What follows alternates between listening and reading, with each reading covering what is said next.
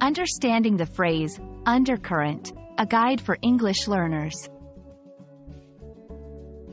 Hello, everyone. In today's video, we'll explore the intriguing English phrase, undercurrent. This term is not just about water. It has a deeper meaning in conversations and literature. Stay tuned as we dive into the fascinating world of this expression. Undercurrent literally refers to a hidden flow of water moving beneath the surface of the sea or a river. However, in everyday English, it takes on a figurative meaning.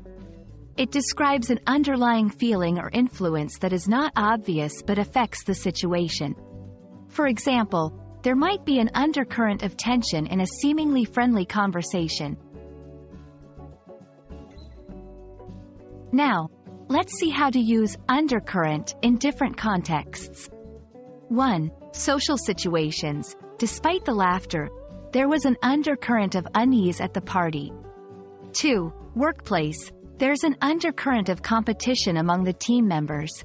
3. Literature and movies. The story had an undercurrent of sadness, even in its happiest moments. Understanding undercurrents can be crucial, especially in social interactions and workplace dynamics. It involves reading between the lines and being sensitive to the emotional atmosphere. Recognizing an undercurrent can help you navigate conversations more effectively. Undercurrent is related to phrases like subtext, undertone, and hidden agenda. Each of these expressions highlights an underlying or unspoken aspect of a situation.